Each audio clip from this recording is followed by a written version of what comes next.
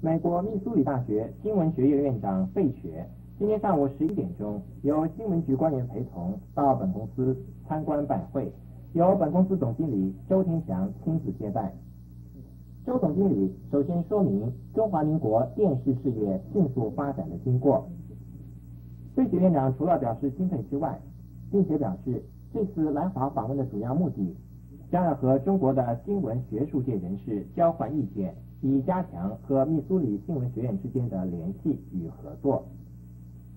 费雪院长是在1971年就任院长的职务。